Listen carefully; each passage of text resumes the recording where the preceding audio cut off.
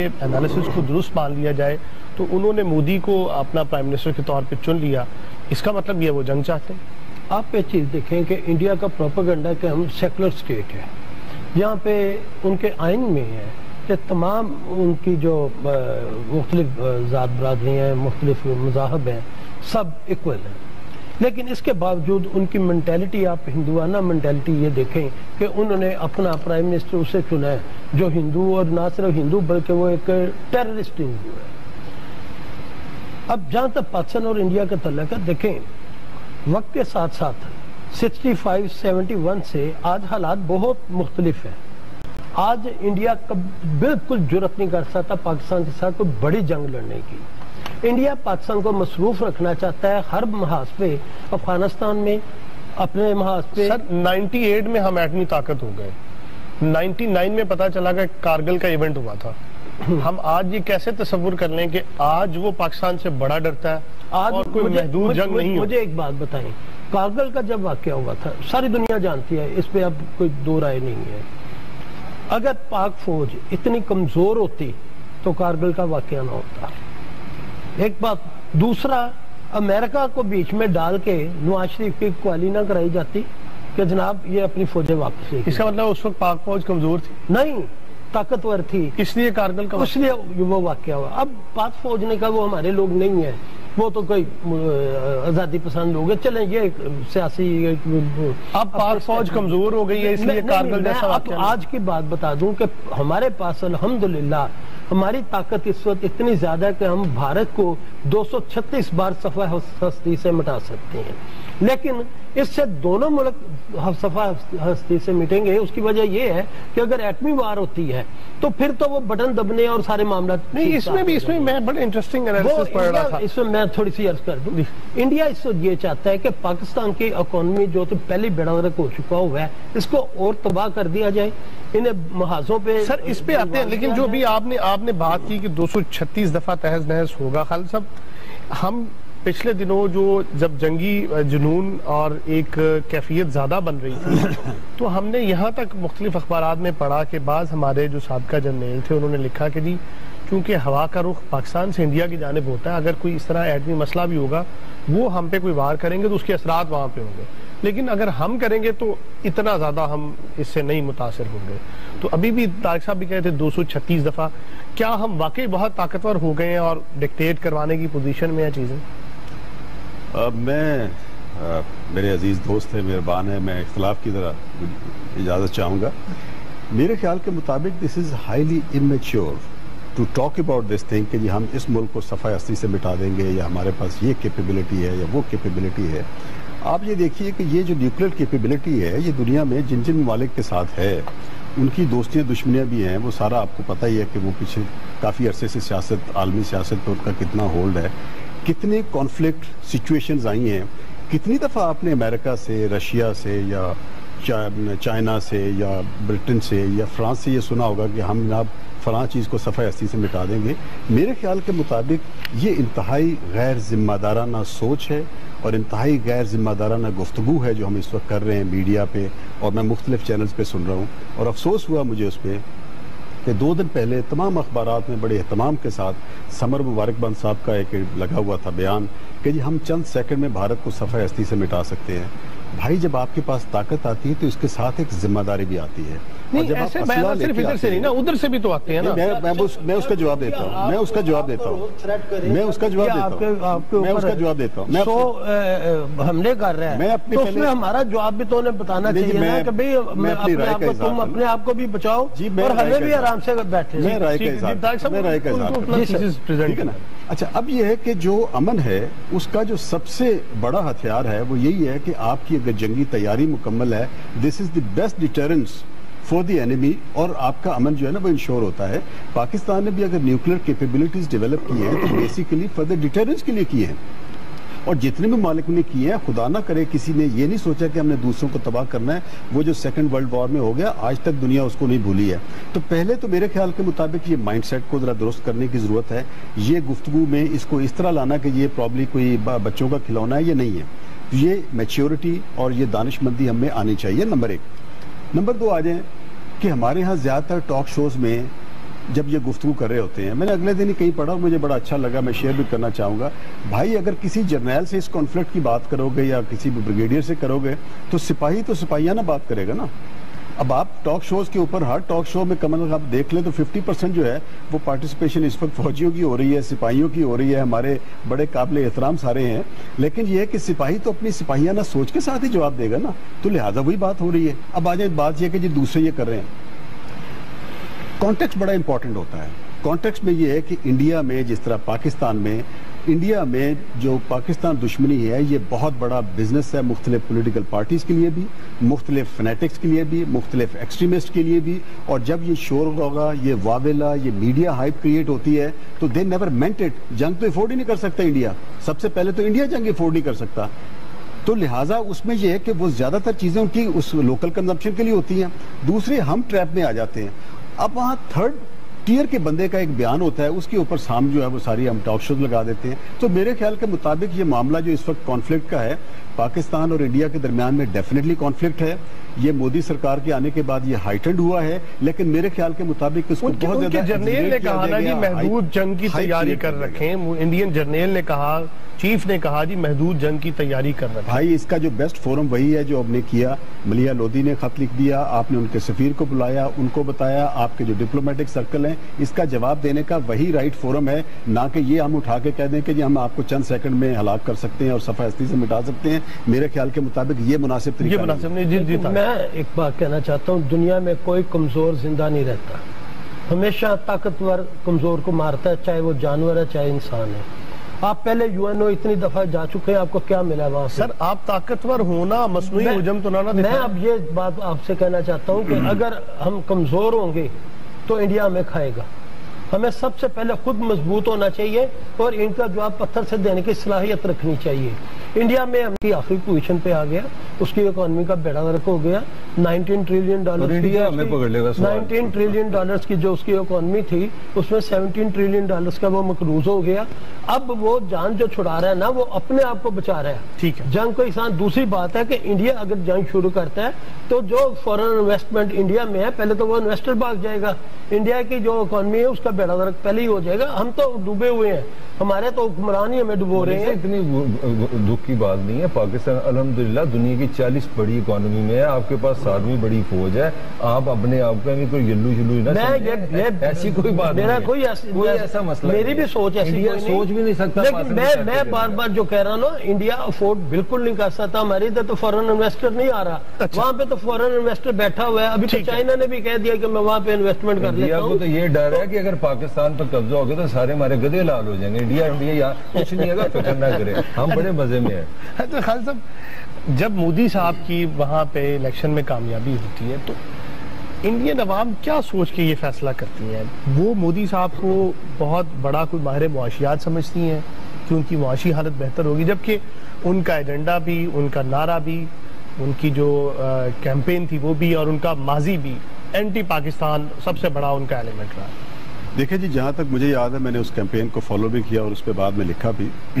بنیادی طور پہ مودی کی کیمپین ساری کی ساری اگر آپ اٹھا کے دیکھ لیں، تو وہ پاکستان دشمنی کے اوپر بیس نہیں کر رہی تھی، وہ پیورلی پیورلی اکنامک کرزما کے اوپر بیس کر رہی تھی کہ جو چیز اس نے گجرات میں کی اور اکنامکلی اس نے جس طرح پراسپیرٹی اس صوبے کو دی اسٹیٹ کو دی، تو اس نے وہی چیز اپنی بیچی۔ And that was his main selling promises اس کی کیمپین فائنینس کو اگر آپ دیکھیں تو جس طرح کارپوریٹ انڈیا نے اس کو فائنینس کیا ہیوجلی اور میڈیا نے جس طرح اس کو سپورٹ کیا وہ تمام نیکسس جو اگر آپ دیکھتے ہیں تو وہ سارے کا سارا پرو بزنس نیکسس تھا۔ جو بیچا بھی گیا اس کی کیمپین میں پرومس بیچے گئے، امید بیچی گئی، نعرے بیچے گئے، وہ سارے کے سارے اکنامک پراسپیرٹی کے نعرے تھے۔ وہ یہ تھے کہ ہم ریفارمز لے کے آئیں گے۔ ٹھیک ہے نا؟ تو اس میں پورے پروسیس میں اگر آپ دیکھیں تو اس میں یہ نہیں کہ اس نے الیکشن جو ہے وہ صرف ایک ایک وعدے پہ جیتے ہیں کہ جی میں پاکستان کے ساتھ جنگ چھیڑ دوں گا خود نوز بلا پتہ نہیں کیا ہو جائے گا کیا نہیں ہو جائے گا یہ قطن نہیں ہے۔ ہمیں چیزوں کو صحیح پرسپیکٹو میں سمجھنا گورنمنٹ میں آنے کے بعد جو ان کا چال چلن ہے کیا وہ وہی ہے؟ دیکھیں گورنمنٹ میں آنے کے بعد دو تین چیزیں اگر کمپلیکس فینومینا ہے اگر مودی کی پارٹی کا یا بی جے پارٹی کا آپ سمجھے پہلی بات تو یہ کہ at the same time they would like to have a very stable India very responsible India for the world جس کو وہ ثابت کر سکیں کہ جی ہم سلامتی کونسل کے بھی اہل ہیں، جس کو وہ ثابت کر سکیں کہ جی ہمارے یہاں انویسٹمنٹ بھی کی جانی چاہیے اور ہمارے یہاں انویسٹر کو بھی آنا چاہیے۔ ایک تو وہ وہ چیز چاہیں گے۔ دوسرے نمبر پہ یہ ہے کہ جس کارپوریٹ انڈیا نے اس کے اوپر انویسٹمنٹ کری ہے، وہ اب ریفارمز چاہتے ہیں۔ وہ ریفارمز جو ہیں، وہ انڈیا کا جس طرح کا سٹرکچر ہے، وہ اتنی ایزی نہیں ہے۔ ابھی آپ دیکھیں، تین دن پہلے انڈیا میں ٹریڈ یونین نے سٹرائک کی ہے اور ایون ٹریڈ یونین اس سٹرائک کا رسپانس دیکھ کے حیران رہ گئی ہے۔ ان کے اپنے اندازے کے مطابق پہلی دفعہ پندرہ کروڑ لوگوں نے اس سٹرائک میں حصہ لیا ہے۔ کیوں وہ سٹرائک اتنی کامیاب ہوئی کہ پورے انڈیا میں اس چیز کا شعور واضح ہوا ہے کہ جو لیبر لاز یہ چینج کرنے جا رہے ہیں seventy five percent of the Indian labour force اس سے متاثر ہوگی۔ انڈیا ہل کے رہ گیا ہے۔ اس سے پہلے آپ دیکھیں کہ ایک اور بہت بڑے کموڈیٹی انویسٹرز ہیں۔ گجرات میں he has decided to pull out of India for the simple reason کہ جی جو ریفارم پروسیس پرومس کیا گیا تھا وہ انڈیا میں ریفارمز کا وہ پروسیس نہیں ہے۔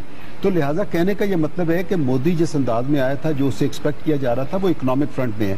رہ گئی یہ بات کہ جو پاکستان کے ساتھ دشمنی ہے بی جے پی کا ایک پولیٹیکل کلاؤٹ یہ ہے۔ اور جس طرح ملک صاحب نے بڑی اچھی بات کی کہ وہ ایک راستہ کھلا رکھنا چاہ رہے ہیں کہ کل کو جب وہ اکنامک فرنٹ کے اوپر فرسٹ کرو ڈیلیور نہیں کر پاتے کسی اور اپنے سیاسی پرومس کو ڈیلیور نہیں کر سکتے۔ تو بھائی پاکستان دشمنی ان کے لیے ایک شجر سایہ دار ہے اور ہرا بھرا ہے اس کو کسی وقت بھی استعمال کر لیں گے۔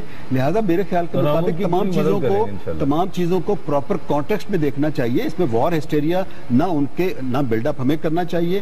انہوں نے بھی وقتی طور پہ کیا ہے اور نہ وہ چاہتے ہیں نہ وہ کر سکتے ہیں۔ سب سے پہلے تو جنگ سے خائف وہی ہیں۔ تو لہٰذا میرے خیال کے مطابق ہمیں اس کو ایسا نہیں لینا چاہیے کہ جنگ ہمارے دروازے پہ دستک دے رہی ہے۔ ٹھیک ہے۔ طارق ممتاز صاحب ایگری کرتے ہیں کہ جو مودی صاحب کی پالیسی ہے وہ پاکستان کو چٹکیاں کاٹتے رہتے ہیں اپنے اندرونی مسائل سے بھی لوگوں کی اٹینشن کو ڈائیورٹ کرنے کے دیکھیں میں اس کا ایک مثال اس طرح دے سکتا ہوں کہ آپ ایک امیر آدمی ہیں آپ کا بہت بڑا گھر ہے۔ آپ کا جو مسایہ ہے وہ کوئی اتنا امیر نہیں ہے۔ تو آپ کبھی اس کی گاڑی کا پیا پینچر کر دیں کبھی اس کی گاڑی کے کوئی اوزار کسی کو کہے اتروا دیں تو وہ اپنی اس ٹینشن میں لگا رہے گا تو میں اپنی گاڑی ٹھیک کروانے، ورکشاپ جاؤں، اس بیچارے کے پاس ٹائم نہیں ہوگا۔ اکنومیکلی ہم انڈیا سے بہت نیچے آتے ہیں۔ اس وقت ہماری یہ بدقسمتی ہے، اگرچہ ہماری لیڈرشپ کی ناکامی ہے۔ ایک زمانہ تھا ہماری اکانومی انڈیا سے بہت بہتر تھی۔ ہمارا ایک روپیہ جو تھا، ان کے دو روپے کا تھا۔ آج بالکل الٹ ہو گیا۔ تو انڈیا ہمیں صرف یہ جو آپ کہہ رہے ہیں نا چونڈیاں کاٹنا وہ چونڈیاں کاٹ کاٹ کے نا ہماری اکانومی کا بیڑا درک کرنا چاہ رہے ہیں۔ اب ہمارے لیڈر جو ہیں، ان کو اتنا عقل مند ہونا چاہیے، اتنا ذہین ہونا چاہیے تو وہ اس چیز کو کیسے نمٹتے ہیں۔ انڈیا کبھی بھی آپ کو برداشت نہیں کرے گا۔ اگلے پچاس سال میں تو مجھے نہیں نظر آ رہا۔ اس کے بعد اگر دونوں ملکوں کی لیڈرشپ ایسی آ جائے جو یہ سمجھے کہ اگر امریکہ اور کینیڈا کٹھے رہ سکتے ہیں یورپ یورپین سپریم کورٹ کے ایک جج نے یہ ریمارکس دیے کہ پندرہ سال بعد دونوں ممالک اکٹھے ہو رہے ہیں میں یہ دیکھ رہا ہوں اور یہ وہ وغیرہ وہ تو لوگ اگر صلح ہونی ہو اگر پیار محبت ہونا ہو تو اگر ایسٹ جرمنی ویسٹ جرمنی ایک دن میں دیوار برلن ہٹا کے ایک ہو جاتے ہیں تو یہ کوئی نہیں ہے ایک بارڈر ہے۔ وہ ادھر آئیں ہم ادھر جائیں، وہ انار کے لیے آ کے شاپنگ کریں۔ ہم جا کے ادھر، امرتسر میں اپنا پرانے گھر دیکھ رہے تو اس میں فرق تو کوئی نہیں پڑتا۔ اگر ہم دونوں ممالک اپنی ساری دولت، اپنی ایٹم بم بنانے میں اور دوسرے اسلحہ بنانے میں اب انڈیا کی پوزیشن یہ ہے کہ ان کی ایک بہت بڑی آبادی کوئی ان کا تھڑا ایسا نہیں ہے جہاں پہ لوگ نہیں سوتے جہاں پہ آج کا بچہ پیدا ہونے والا ہے اس کے ماں باپ بھی اسی تھڑے پہ پیدا ہوئے اس کے دادی دادا نانی نانا بھی اسی تھڑے پہ پیدا ہوئے ہیں۔ وہ کیسی اکانومی ہے کیسا وہ ایٹمی پاور ہے کہ جس کے سارے عوام جو ہیں وہ غربت کی نچلی سے نچلی سطح پہ ہیں۔ ہمارے لوگ اس سے بہت خوشحال ہیں ہمارے لیے کوئی ایسا انشاءاللہ ہمارے ہاں بھی تعداد بہت زیادہ ہے طاہر ملک صاحب کنکلوڈ کریں اسے کہ کیا ابھی تو دونوں بالکل ایکسٹریم پہ ہیں اور طارق ممتاز صاحب ایک دم سے بڑے پر امید ہو گئے تھے کہ شاید مسائل ایک دم سے حل بھی ہو جائیں گے۔ تو رائٹ نو سچویشن آپ کو کس طرف جاتی نظر آتی ہے؟ دیکھیں، دنیا میں جو لڑائی ہے نا، اصل اصل ریسورس کی لڑائی ہے۔ ہم کیونکہ جذباتی لوگ ہیں نالج بیس سوسائٹی نہیں ہے۔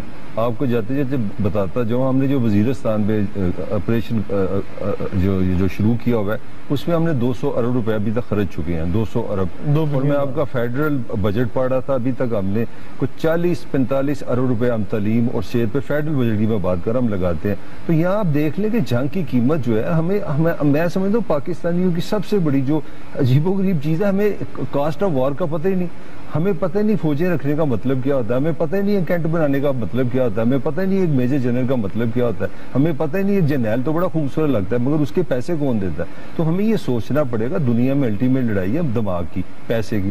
جنگ اس کا لاسٹ سلوشن ہے۔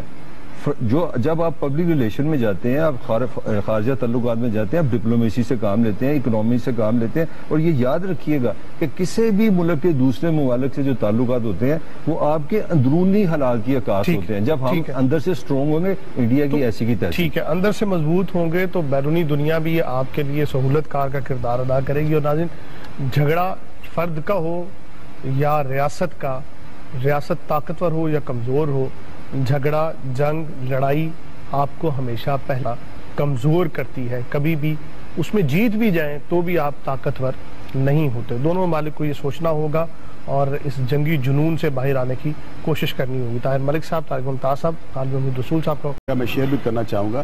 بھائی، اگر کسی جرنیل سے اس کانفلکٹ کی بات کرو گے یا کسی بریگیڈیئر سے کرو گے، تو سپاہی تو سپاہیانہ بات کرے گا نا؟ اب آپ ٹاک شوز کے اوپر، ہر ٹاک شو میں کمل آپ دیکھ لیں تو ففٹی پرسنٹ جو ہے وہ پارٹیسپیشن اس وقت فوجیوں کی ہو رہی ہے، سپاہیوں کی ہو رہی ہے، ہمارے بڑے قابل احترام سارے ہیں، لیکن یہ ہے کہ سپاہی تو اپنی سپاہیانہ سوچ کے ساتھ ہی جواب دے گا نا، تو لہٰذا وہی بات ہو رہی ہے۔ اب آ جائیں بات یہ کہ جی دوسرے یہ کر رہے ہیں۔ کانٹیکس بڑا امپورٹنٹ ہوتا ہے۔ کانٹیکس میں یہ ہے کہ انڈیا میں جس طرح پاکستان میں انڈیا میں جو پاکستان دشمنی ہے، یہ بہت بڑا بزنس ہے مختلف پولیٹیکل پارٹیز کے لیے بھی، مختلف فنیٹکس کے لیے بھی، مختلف ایکسٹریمسٹ کے لیے بھی۔ اور جب یہ شور ہوگا، یہ واویلا، یہ میڈیا ہائپ کریٹ ہوتی ہے، تو دے نیور مینٹ اٹ جنگ تو افورڈ ہی نہیں کر سکتا انڈیا۔ سب سے پہلے تو انڈیا جنگ افورڈ نہیں کر سکتا۔ تو لہٰذا اس میں یہ ہے کہ وہ زیادہ تر چیزیں ان کی اس لوکل کنزمپشن کے لیے ہوتی ہیں۔ دوسرے ہم ٹریپ میں آ جاتے ہیں۔ اب وہاں تھرڈ ٹیئر کے بندے کا ایک بیان ہوتا ہے اس کے اوپر سام جو ہے وہ ساری ہم ٹاک شوز لگا دیتے ہیں۔ تو میرے خیال کے مطابق یہ معاملہ جو اس وقت کانفلکٹ کا ہے پاکستان اور انڈیا کے درمیان میں ڈیفینیٹلی کانفلکٹ ہے۔ یہ مودی سرکار کے آنے کے بعد یہ ہائٹنڈ ہوا ہے لیکن میرے خیال کے مطابق اس کو بہت زیادہ جرنیل نے کہا نا جی محدود جنگ کی تیاری کر رکھیں۔ انڈین جرنیل نے کہا چیف نے کہا جی محدود جنگ کی تیاری کر رکھیں بھائی اس کا جو بیسٹ فورم وہی ہے جو اب نے کیا۔ ملیا لودی نے خط لکھ دیا آپ نے ان کے سفیر کو بلایا ان کو بتایا آپ کے جو ڈپلومیٹک سرکل ہیں اس کا جواب دینے کا وہی رائٹ فورم ہے۔ نہ کہ یہ ہم اٹھا کے کہہ دیں کہ جی ہم آپ کو چند سیکنڈ میں ہلاک کر سکتے ہیں اور صفحہ ہستی سے مٹا سکتے ہیں۔ میرے خیال کے مطابق یہ مناسب طریقہ مناسب نہیں جی جی میں ایک بات کہنا چاہتا ہوں دنیا میں کوئی کمزور زندہ نہیں رہتا۔ ہمیشہ طاقتور کمزور کو مارتا ہے چاہے وہ جانور ہے چاہے انسان ہے۔ آپ پہلے یو این او اتنی دفعہ جا چکے ہیں آپ کو کیا ملا وہاں سر آپ طاقتور ہونا مصنوعی حجم تو نہ میں اب یہ بات آپ سے کہنا چاہتا ہوں کہ اگر ہم کمزور ہوں گے تو انڈیا ہمیں کھائے گا۔ ہمیں سب سے پہلے خود مضبوط ہونا چاہیے اور ان کا جواب پتھر سے دینے کی صلاحیت رکھنی چاہیے۔ انڈیا میں ہم کی آخری پوزیشن پہ آ گیا اس کی اکانومی کا بیڑا غرق ہو گیا۔ نائنٹین ٹریلین ڈالر انڈیا ہمیں پکڑ لے گا نائنٹین ٹریلین ڈالرز کی جو اس کی اکانومی تھی اس میں سیونٹین ٹریلین ڈالرز کا وہ مقروض ہو گیا۔ اب وہ جان جو چھڑا رہا ہے نا وہ اپنے آپ کو بچا رہا ہے۔ ٹھیک ہے۔ جنگ کو انسان دوسری بات ہے کہ انڈیا اگر جنگ شروع کرتا ہے تو جو فورن انویسٹمنٹ انڈیا میں ہے پہلے تو وہ انویسٹر بھاگ جائے گا۔ انڈیا کی جو اکانومی ہے اس کا بیڑا غرق پہلے ہی ہو جائے گا۔ ہم تو ڈوبے ہوئے ہیں۔ ہمارے تو حکمران ہی ہمیں ڈبو رہے ہیں۔ اتنی دکھ کی بات نہیں ہے۔ پاکستان الحمدللہ دنیا کی چالیس بڑی اکانومی میں ہے۔ آپ کے پاس ساتویں بڑی فوج ہے آپ اپنے آپ کا کوئی یلو شلو نہ ایسی کوئی بات میرا کوئی ایسا مسئلہ میری بھی سوچ ایسی سوچ بھی نہیں سکتا لیکن میں میں بار بار جو کہہ رہا ہوں انڈیا افورڈ بالکل نہیں کر سکتا ہماری ادھر تو فورن انویسٹر نہیں آ رہا۔ وہاں پہ تو فورن انویسٹر بیٹھا ہوا ہے ابھی تو چائنا نے بھی کہہ دیا کہ میں وہاں پہ انویسٹمنٹ کر لیتا ہوں تو یہ ڈر ہے کہ اگر پاکستان پر قبضہ ہو گیا تو سارے ہمارے گدے لال ہو جائیں گے انڈیا انڈیا یا کچھ نہیں اگر فکر نہ کرے ہم بڑے مزے میں ہیں تو خالد صاحب جب مودی صاحب کی وہاں پہ الیکشن میں کامیابی ہوتی ہے، تو انڈین عوام کیا سوچ کے یہ فیصلہ کرتی ہیں؟ وہ مودی صاحب کو بہت بڑا کوئی ماہر معاشیات سمجھتی ہیں کہ ان کی معاشی حالت بہتر ہوگی، جبکہ ان کا ایجنڈا بھی، ان کا نعرہ بھی، ان کی جو کیمپین تھی وہ بھی اور ان کا ماضی بھی، اینٹی پاکستان سب سے بڑا ان کا ایلیمنٹ رہا۔ دیکھیں جی جہاں تک مجھے یاد ہے، میں نے اس کیمپین کو فالو بھی کیا اور اس پہ بعد میں لکھا بھی۔ بنیادی طور پہ مودی کی کیمپین ساری کی ساری اگر آپ اٹھا کے دیکھ لیں، تو وہ پاکستان دشمنی کے اوپر بیس نہیں کر رہی تھی، وہ پیورلی پیورلی اکنامک کرزما کے اوپر بیس کر رہی تھی کہ جو چیز اس نے گجرات میں کی اور اکنامکلی اس نے جس طرح پراسپیرٹی اس صوبے کو دی، اس اسٹیٹ کو دی، تو اس نے وہی چیز اپنی بیچی۔ And that was his main selling promises اس کی کیمپین فائنینس کو اگر آپ دیکھیں تو جس طرح کارپوریٹ انڈیا نے اس کو فائنینس کیا ہیوجلی اور میڈیا نے جس طرح اس کو سپورٹ کیا وہ تمام نیکسس جو اگر آپ دیکھتے ہیں تو وہ سارے کا سارا پرو بزنس نیکسس تھا۔ جو بیچا بھی گیا اس کی کیمپین میں پرومس بیچے گئے، امید بیچی گئی، نعرے بیچے گئے، وہ سارے کے سارے اکنامک پراسپیرٹی کے نعرے تھے۔ وہ یہ تھے کہ ہم ریفارمز لے کے آئیں گے۔ ٹھیک ہے نا؟ تو اس میں پورے پروسیس میں اگر آپ دیکھیں تو اس میں یہ نہیں کہ اس نے الیکشن جو ہے وہ صرف ایک ایک وعدے پہ جیتے ہیں کہ جی میں پاکستان کے ساتھ جنگ چھیڑ دوں گا خود نوز باللہ پتہ نہیں کیا ہو جائے گا کیا نہیں ہو جائے گا یہ قطن نہیں ہے۔ ہمیں چیزوں کو صحیح پرسپیکٹو میں سمجھنا گورنمنٹ میں چاہیے۔ آنے کے بعد جو ان کا چال چلن ہے کیا وہ وہی ہے؟ دیکھیں گورنمنٹ میں آنے کے بعد دو تین چیزیں ذرا کمپلیکس فینومینا ہے اگر مودی کی پارٹی کا یا بی جے پارٹی کا آپ سمجھے پہلی بات تو یہ کہ at the same time they would like to have a very stable India very responsible India for the world جس کو وہ ثابت کر سکیں کہ جی ہم سلامتی کونسل کے بھی اہل ہیں، جس کو وہ ثابت کر سکیں کہ جی ہمارے ہاں انویسٹمنٹ بھی کی جانی چاہیے اور ہمارے ہاں انویسٹر کو بھی آنا چاہیے۔ ایک تو وہ وہ چیز چاہیں گے۔ دوسرے نمبر پہ یہ ہے کہ جس کارپوریٹ انڈیا نے اس کے اوپر انویسٹمنٹ کری ہے، وہ اب ریفارمز چاہتے ہیں۔ وہ ریفارمز جو ہیں، وہ انڈیا کا جس طرح رخ پاکستان سے انڈیا کی جانب ہوتا ہے۔ اگر کوئی اس طرح ایٹمی مسئلہ بھی ہوگا، وہ ہم پہ کوئی وار کریں گے تو اس کے اثرات وہاں پہ ہوں گے۔ لیکن اگر ہم کریں گے تو اتنا زیادہ ہم اس سے نہیں متاثر ہوں گے۔ تو ابھی بھی طارق صاحب بھی کہے تھے دو سو چھتیس دفعہ، کیا ہم واقعی بہت طاقتور ہو گئے ہیں اور ڈکٹیٹ کروانے کی پوزیشن میں ہیں چیزیں؟ اب میں میرے عزیز دوست ہیں، مہربان ہیں، میں اختلاف کی ذرا اجازت چاہوں گا۔ میرے خیال کے مطابق this is highly immature to talk about this thing کہ جی ہم اس ملک کو صفحہ ہستی سے مٹا دیں گے یا ہمارے پاس یہ کیپیبلٹی ہے یا وہ کیپیبلٹی ہے۔ آپ یہ دیکھیے کہ یہ جو نیوکلیر کیپیبلٹی ہے، یہ دنیا میں جن جن ممالک کے ساتھ ہے، ان کی دوستیاں، دشمنیاں بھی ہیں، وہ سارا آپ کو پتہ ہی ہے کہ وہ پیچھے کافی عرصے سے سیاست، عالمی سیاست پر ان کا کتنا ہولڈ ہے۔ کتنے کانفلکٹ سچویشنز آئی ہیں۔ کتنی دفعہ آپ نے امریکہ سے رشیا سے یا چائنا سے یا برٹن سے یا فرانس سے یہ سنا ہوگا کہ ہم جناب فلاں چیز کو صفحہ ہستی سے مٹا دیں گے۔ میرے خیال کے مطابق یہ انتہائی غیر ذمہ دارانہ سوچ ہے۔ اور انتہائی غیر ذمہ دارانہ گفتگو ہے جو ہم اس وقت کر رہے ہیں میڈیا پہ اور میں مختلف چینلز پہ سن رہا ہوں اور افسوس ہوا مجھے اس پہ کہ دو دن پہلے تمام اخبارات میں بڑے اہتمام کے ساتھ سمر مبارک بند صاحب کا ایک لگا ہوا تھا بیان کہ جی ہم چند سیکنڈ میں بھارت کو صفحہ ہستی سے مٹا سکتے ہیں۔ بھائی جب آپ کے پاس طاقت آتی ہے تو اس کے ساتھ ایک ذمہ داری بھی آتی ہے۔ اور نہیں جب آپ ایسے اسلحہ بیانات لے صرف کے ادھر آتے سے نہیں نا ہیں- ادھر سے بھی تو آتے ہیں نا۔ میں میں اس میں اس کا جواب دیتا ہوں میں اس کا جواب دیتا ہوں۔ میں اس کا جواب دیتا ہوں۔ میں اس کا جواب دیتا ہوں۔ میں سو حملے کر رہے ہیں۔ تو اس میں ہمارا جواب بھی تو انہیں بتانا جی، چاہیے نا کہ بھئی تم۔ اپنے آپ کو بھی بچاؤ جی، اور ہمیں بھی آرام سے بیٹھے۔ میں رائے کا ہے، اظہار میں رائے کا اظہار جی ٹھیک ہے نا۔ اچھا اب یہ ہے کہ جو امن ہے اس کا جو سب سے بڑا ہتھیار ہے وہ یہی ہے کہ آپ کی اگر جنگی تیاری مکمل ہے this is the best deterrence for the enemy اور آپ کا امن جو ہے نا وہ انشور ہوتا ہے۔ پاکستان نے بھی اگر نیوکلیر کیپیبلٹیز ڈیولپ کی ہیں تو بیسیکلی فار دا ڈیٹرنس کے لیے کی ہیں۔ اور جتنے بھی مالک نے کیے ہیں، خدا نہ کرے کسی نے یہ نہیں سوچا کہ ہم نے دوسروں کو تباہ کرنا ہے۔ وہ جو سیکنڈ ورلڈ وار میں ہو گیا، آج تک دنیا اس کو نہیں بھولی ہے۔ تو پہلے تو میرے خیال کے مطابق یہ مائنڈ سیٹ کو ذرا درست کرنے کی ضرورت ہے۔ یہ گفتگو میں اس کو اس طرح لانا کہ یہ پرابلی کوئی بچوں کا کھلونا ہے یہ نہیں ہے۔ یہ میچیورٹی اور یہ دانش مندی ہم میں آنی چاہیے، نمبر ایک۔ نمبر دو آ جائیں۔ کہ ہمارے ہاں زیادہ تر ٹاک شوز میں جب یہ گفتگو کر رہے ہوتے ہیں، میں نے اگلے دن ہی کہیں پڑھا مجھے بڑا اچھا لگ رہا کا سٹرکچر ہے، وہ اتنی ایزی نہیں ہے۔ ابھی آپ دیکھیں، تین دن پہلے انڈیا میں ٹریڈ یونین نے سٹرائک کی ہے اور ایون ٹریڈ یونین اس سٹرائک کا رسپانس دیکھ کے حیران رہ گئی ہے۔ ان کے اپنے اندازے کے مطابق پہلی دفعہ پندرہ کروڑ لوگوں نے اس سٹرائک میں حصہ لیا ہے۔ کیوں وہ سٹرائک اتنی کامیاب ہوئی کہ پورے انڈیا میں اس چیز کا شعور واضح ہوا ہے کہ جو لیبر لاز یہ چینج کرنے جا رہے ہیں seventy five percent of the Indian labour force اس سے متاثر ہوگی۔ انڈیا ہل کے رہ گیا ہے۔ اس سے پہلے آپ دیکھیں کہ ایک اور بہت بڑے کموڈیٹی انویسٹرز ہیں۔ گجرات میں he has decided to pull out of India for the simple reason کہ جی جو ریفارم پروسیس پرومس کیا گیا تھا وہ انڈیا میں ریفارمز کا وہ پروسیس نہیں ہے۔ تو لہٰذا کہنے کا یہ مطلب ہے کہ مودی جس انداز میں آیا تھا جو اسے ایکسپیکٹ کیا جا رہا تھا وہ اکنامک فرنٹ میں ہے۔ رہ گئی یہ بات کہ جو پاکستان کے ساتھ دشمنی ہے بی جے پی کا ایک پولیٹیکل کلاؤٹ یہ ہے۔ اور جس طرح ملک صاحب نے بڑی اچھی بات کی کہ وہ ایک راستہ کھلا رکھنا چاہ رہے ہیں کہ کل کو جب وہ اکنامک فرنٹ کے اوپر فرسٹ کو ڈیلیور نہیں کر پاتے کسی اور اپنے سیاسی پرومس کو ڈیلیور نہیں کر سکتے۔ تو بھائی پاکستان دشمنی ان کے لیے ایک شجر سایہ دار ہے اور ہرا بھرا ہے اس کو کسی وقت بھی استعمال کر لیں گے۔ لہذا میرے خیال کے مطابق تمام چیزوں کو۔ تمام چیزوں کو پراپر کانٹیکسٹ میں دیکھنا چاہیے۔ اس میں وار ہسٹیریا نہ ان کے نہ بلڈ اپ ہمیں کرنا چاہیے۔ انہوں نے بھی وقتی طور پہ کیا ہے اور نہ وہ چاہتے ہیں نہ وہ کر سکتے ہیں۔ سب سے پہلے تو جنگ سے خائف وہی ہیں۔ تو۔ لہٰذا میرے خیال کے مطابق ہمیں اس کو ایسا نہیں لینا چاہیے کہ جنگ ہمارے دروازے پہ دستک دے رہی ہے۔ ٹھیک ہے۔ طارق ممتاز صاحب ایگری کرتے ہیں کہ جو مودی صاحب کی پالیسی ہے وہ پاکستان کو چٹکیاں کاٹتے رہتے ہیں اپنے اندرونی مسائل سے بھی لوگوں کی اٹینشن کو ڈائیورٹ کرنے کے دیکھیں میں اس کی مثال اس طرح دے سکتا ہوں کہ آپ ایک امیر آدمی ہیں آپ کا بہت بڑا گھر ہے۔ آپ کا جو ہمسایہ ہے وہ کوئی اتنا امیر نہیں ہے۔ تو آپ کبھی اس کی گاڑی کا پیا پینچر کر دیں کبھی اس کی گاڑی کے کوئی اوزار کسی کو کہے اتروا دیں۔ تو وہ اپنی اس ٹینشن میں لگا رہے گا، تو میں اپنی گاڑی ٹھیک کروانے، ورکشاپ جاؤں، اس بیچارے کے پاس ٹائم نہیں ہوگا۔